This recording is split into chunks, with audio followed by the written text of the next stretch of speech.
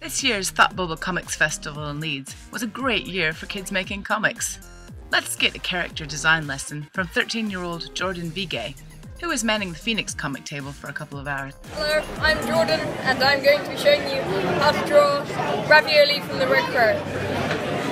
Um, okay, two big eyes.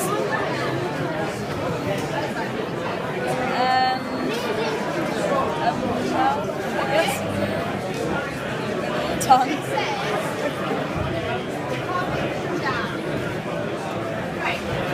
And then I'll draw four lines.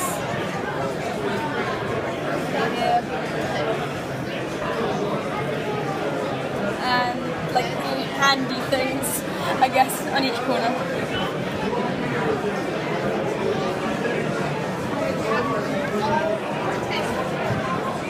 And. Okay. And here you can see Ravioli himself, who's featured in the Red Crow comic, published by Jordan. Besides making comics, he features interviews, he's interviewed me once, and we even did a comics jam where we went back and forth making a comic when I was at the Lakes International Comic Art Festival in Kendal earlier this year. You can subscribe to Red Crow Comic at redcrowcomic.com. Now let's meet another comics creator. Jonathan's only 10 years old, but he makes amazing comics. Let's watch his character design tutorial. Jonathan, I make the crystal ball. And this is how you draw Bam, the evil sidekick of the Wizard Band. You start off drawing a round circle for the eye, and then a dash for the pupil. You do the same on the other side. Then you draw a line in between them, and then for the mouth, and then draw a triangle for a tooth. Then you draw two triangles for the ear, and then you connect them together with a line.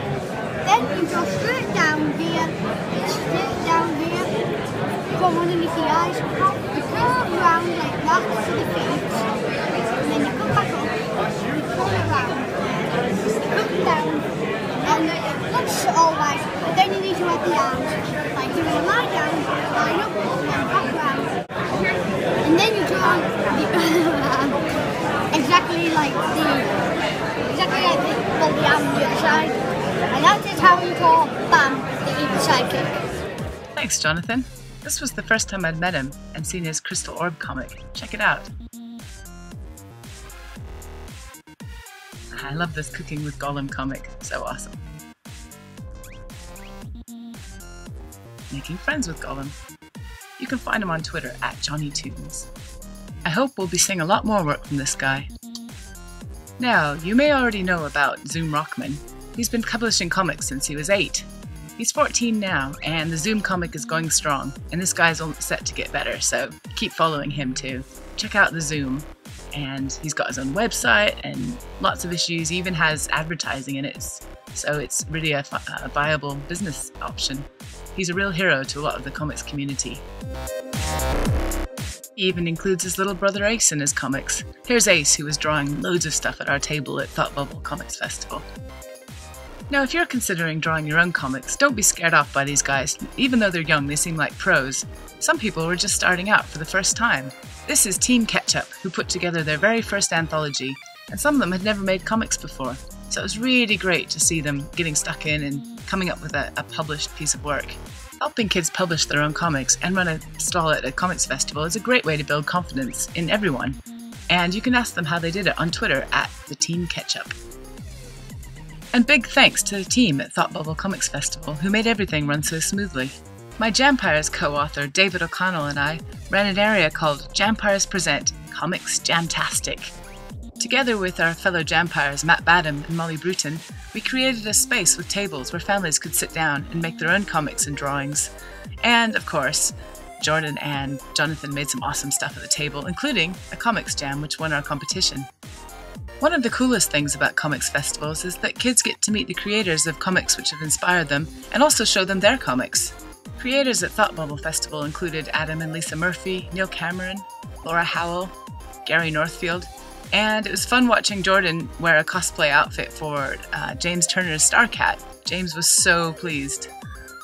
It's great seeing comics festivals starting to embrace children. It's a really vital part of the comics community. These people are our future, and they're already making awesome comics. If you want to help kids get excited about comics, a great place to start is Neil Cameron's How to Make Awesome Comics.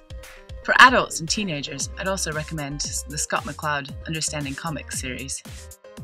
One of the best ways to get kids excited about making and reading comics is to give them a really good selection of, of quality comics. And the Phoenix Comic website has been putting together a shop, and it's including starting to include books they don't even publish.